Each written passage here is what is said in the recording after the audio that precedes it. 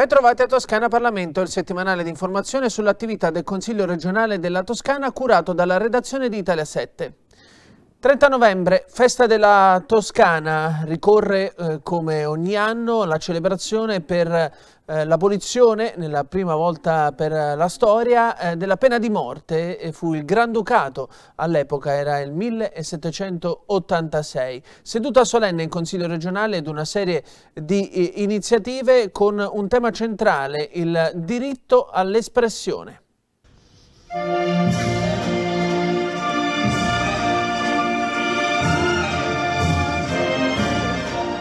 La libertà di espressione in tutte le sue forme, così come sancito dall'articolo 21 della Costituzione italiana come tema cardine della festa della Toscana edizione 2022 è argomento al centro della seduta solenne del Consiglio regionale che si è tenuta al Cinema La Compagnia a Firenze.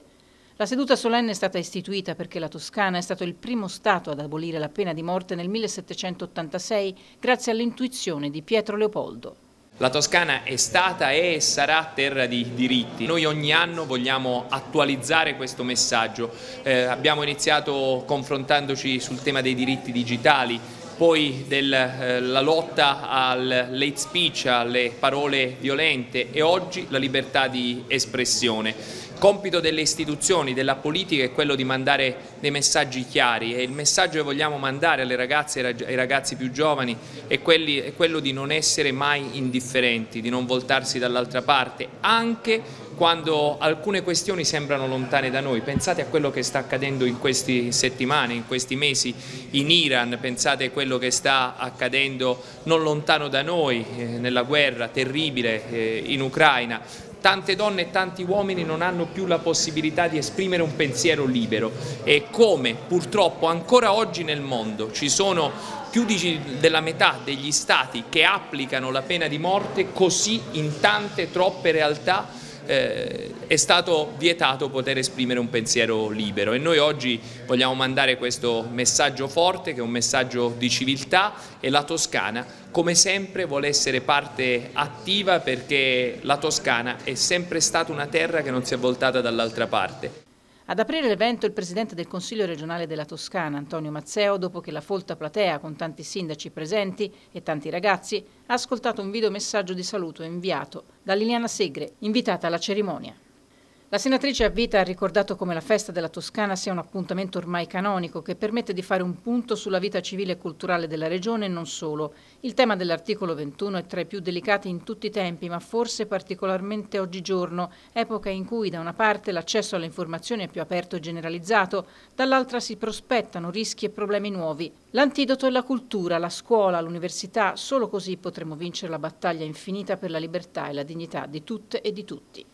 Presente durante la seduta solenne Federica Angeli, cronista di cronaca nera e giudiziaria per il quotidiano La Repubblica, la giornalista ha ripercorso le vicende che l'hanno portata, dopo una lunga inchiesta sotto copertura, a denunciare le infiltrazioni mafiose ad Ostia e il passaggio di uno stabilimento balneare nelle mani della famiglia Spada.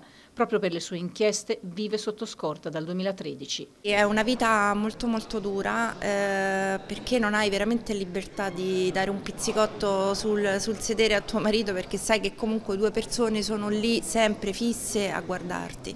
Quindi a parte questa diciamo, uh, cose de, de, de, della quotidianità è dura sapere che, che pende sulla tua testa sempre eh, il pericolo che ti possa accadere qualcosa, però ho imparato a vivere no, come se fosse l'ultimo giorno, quando me lo ripetevo, non, non lo capivo vent'anni fa, adesso lo capisco quindi ho imparato ad apprezzare eh, tante piccole cose che magari non ho più e quando mi capitano le assaporo con gusto. È una battaglia, una guerra, passatemi la metafora in questo momento terribile in cui abbiamo alle porte una guerra che però eh, è, è, un continuo, non, non finisce mai. Adesso poco tempo fa hanno scarcerato, come avete visto, Roberto Spada, che è appunto l'uomo della testata che ha minacciato sia me che i miei figli. Eh, siamo in uno stato di diritto, quindi ha scontato la sua pena, però non vi nego che saperlo in libertà eh, allunga i tempi eh, della, della, mia di libertà. Io spero prima o dopo che mi tolgano la scorta, ma se continuano a rimetterli fuori eh, incrementano la loro libertà e diminuiscono un po' la mia. Però appunto le battaglie si vincono e si perdono, vediamo adesso cosa stabilirà la Cassazione del processo per mafia e vediamo se a marzo rientrerà in carcere lui. Abbiamo sentito da Federica Angeli quanto coraggio ci voglia per vincere l'omertà, anche quella che si annida dentro ciascuno di noi e che ci fa pensare alle nostre priorità essenziali, ai nostri figli, ai nostri affetti. E poi i temi fondamentali, ciò che impedisce la libertà ed è la piena padronanza delle idee, l'importanza della conoscenza e della formazione per poter essere liberi. Un momento sicuramente di grande riflessione attorno a questo tema a cui quest'anno è dedicata, cioè la libertà di espressione, la libertà di opinioni, bellissimi interventi, toccante quello della giornalista Angeli che vive la, sulla propria pelle cosa significa testimoniare la legalità in una zona drammatica come quella di Ostia.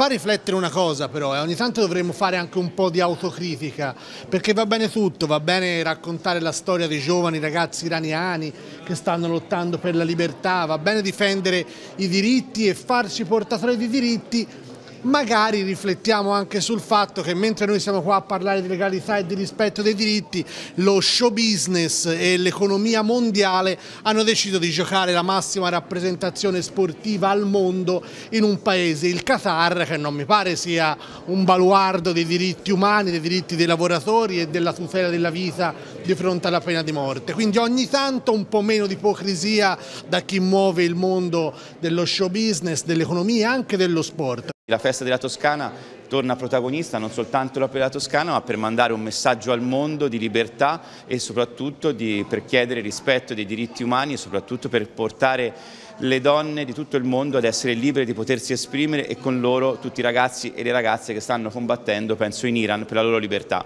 In questo momento in cui ci viene chiesto di essere concreti nell'azione di sostegno verso la verità e verso la libertà di eh, poter dichiarare come stanno davvero le cose, non dire le mezze verità invece, di cui invece ha parlato la giornalista. Ricordiamo Jamal Khashoggi che è morto per contrastare un, un, un governo, che è morto per contrastare un governo che è democratico ha veramente poco. Ricordiamo Daphne Caruana Galizia che è morta per contrastare la corruzione del suo paese e Julian Assange che ancora oggi è privo della sua libertà per cercare di dare al mondo quelle verità, quelle alcuni passaggi di una verità che oggi sono nascosti. Ecco, ricordiamo tutti questi giornalisti perché è con il loro coraggio che oggi il mondo può conoscere meglio come vanno le cose e soprattutto che si tutela la libertà di giornalismo e di stampa. Tutti hanno il diritto di esprimere liberamente il proprio pensiero con la parola, con lo scritto e con ogni altro mezzo di espressione.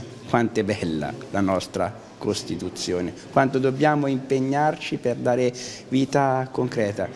La Toscana è sempre stata all'avanguardia dal punto di vista dei diritti e sempre dovrà esserla. La cultura è originata dalla forza del progresso scientifico, del pensiero umanistico, dalle grandi domande che ci poniamo sull'universo, sul mondo fisico, su noi stessi e la nostra relazione con la realtà fisica. Questo è il pensiero della Presidente del Consiglio nazionale delle ricerche, Maria Chiara Carrozza. Il CNR ovviamente è in prima linea come difensore e anche come ente che tutela la libertà e l'iniziativa della ricerca e l'autonomia della ricerca, quindi sta eh, anche a noi riuscire a garantire eh, a tutte le ricercatrici e ricercatori questa libertà eh, con i fondi, le infrastrutture e la programmazione della ricerca.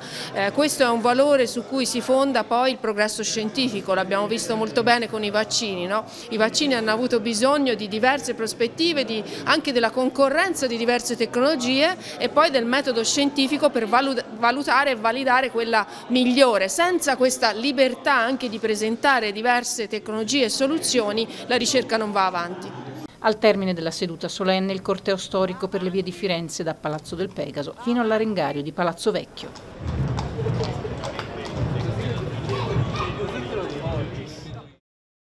Prosegue il tour nei territori della Toscana della Commissione Sanità. Visita all'ospedale Cisanello di Pisa. Continua il viaggio tra le realtà territoriali della Commissione Sanità del Consiglio regionale della Toscana. L'ultima tappa ha toccato l'ospedale Cisanello di Pisa, dove assieme ai membri della Commissione si è recato anche il presidente dell'organo legislativo regionale Antonio Mazzeo. Ad accompagnarli è stata la direttrice generale Silvia Briani. La delegazione ha visitato il cantiere del nuovo ospedale, il DEA, il centro multidisciplinare di chirurgia robotica, nel pomeriggio ha avuto luogo il confronto con la direzione aziendale, i professionisti, le rappresentanze sindacali e il comitato di partecipazione. Penso sia nella costruzione e più che altro nell'organizzazione dei servizi, quindi davvero in un'operazione di lavoro integrata tra medici di medicina generale, pediatri, infermieri, specialisti, assistenti sociali, c'è tutto un comparto di soggetti che possa davvero essere un punto di riferimento un cittadino e poi gli ospedali di comunità come luogo dove si può dimettere chi appunto deve essere dimesso ma non può ancora andare a casa, invece rimane in un presidio come, eh, come questo, insomma tutti aspetti che con l'organizzazione del territorio sono fondamentali. Questo è un ospedale eh, importante, un ospedale dove si deve fare alta intensità e ricerca, noi abbiamo bisogno di luoghi dove si fa ricerca, dove la clinica e la ricerca sono uniti insieme. I migliori ospedali al mondo sono quelli dove accanto alla clinica si fa ricerca e questo Cisanello per noi è uno dei punti di eccellenza della Toscana. Sicuramente una giornata interessante che fa seguito a quella che abbiamo già fatto a Grosseto due settimane fa. Direi che il progetto del Santa Chiara è veramente una cosa imponente, una cosa veramente bella, ne testimonia la giornata del pomeriggio in cui abbiamo parlato con professionisti estremamente motivati, eh, ci sono state anche delle critiche naturalmente, critiche che noi di, di fatto già conoscevamo in quanto eh, specialmente noi, noi, della Lega, il fatto delle tre ASL l'abbiamo cavalcato perché le tre, le tre maxi ASL per noi non dovrebbero essere tali ma dovrebbero essere a eh, misura provinciale e è stato testimoniato anche dal fatto che dice che la filiera di direttore generale cittadino è troppo lunga, questo proprio perché c'è una distanza abissale tra le zone decisionali del direttore generale e poi come le ricadute che abbiamo sulla, sul cittadino. L'iniziativa è parte di un tour annunciato a inizio novembre dopo gli Stati Generali della Sanità che è partita nel Grossetano due settimane fa e che ha lo scopo di visitare le strutture sanitarie della regione e incontrare gli operatori nell'ambito di una funzione di programmazione ma anche di controllo e di collaborazione con i professionisti del sistema. Si è insediato nel nuovo corso il Parlamento degli studenti della Toscana, eleggendo la sua nuova presidente. Io sono ancora incredula, non, non riesco ancora a capacitarmi, non penso di averlo ancora realizzato. Lei è Maria Vittoria D'Annunzio, proviene dall'Istituto Alberti Dante di Firenze ed è la nuova presidente del Parlamento regionale degli studenti della Toscana. Rimarrà in carica nel biennio 2022-2023. La comunicazione è quella che serve non solo per far conoscere il nostro organo, ma anche per dare voce a chi in questo particolare periodo storico non ha la possibilità di esprimersi come noi. L'elezione è avvenuta a larga maggioranza con 36 voti ed è stato il primo atto dell'insediamento della nuova assemblea all'interno del Consiglio regionale. Passaggio della campanella con il presidente uscente Mauro Cioci. È stata una bellissima esperienza formativa eh, che ha dato tanto e di cui ricorderò tanto. E purtroppo lasciare il testimone è parte di questa esperienza, ma sono tranquillo a lasciarlo a una persona che secondo me farà un ottimo lavoro. Istituito con legge dal 2011, il Parlamento regionale degli studenti elabora proposte ai decisori politici su temi di interesse e d'attualità del mondo giovanile, con l'obiettivo proprio di valorizzare il contributo che i giovani possono dare alla politica. I membri possono anche chiedere di essere ascoltati dalle commissioni consigliari. I giovani sono i protagonisti del nostro tempo e vorremmo costruire insieme a loro il futuro. Un grazie al past president Mauro Cioci, un grazie, un grande in bocca al lupo a Maria Vittoria D'Annunzio. Avrà di fronte a sé la necessità di lavorare coinvolgendo tutte le ragazze e tutti i ragazzi toscani. Il nostro obiettivo è dare voce a chi ha meno voce. Possiamo costruirlo insieme e credo, anzi mi auguro che costruendolo insieme possiamo dare quelle risposte che in questo tempo difficile della pandemia non siamo riusciti a dare. Una bella sfida, una sfida collettiva, eh, ponendo sempre un obiettivo di fondo. Un bimbo che nasce in un piccolo comune della nostra regione, nel più piccolo deve avere gli stessi diritti di un bimbo o una bimba che nascono a Firenze. È una grande sfida, una sfida che possiamo vincere solo tutti insieme. Ed è tutto anche per questa edizione di Toscana Parlamento. L'informazione dal Consiglio regionale della Toscana si aggiorna con voi alla prossima settimana.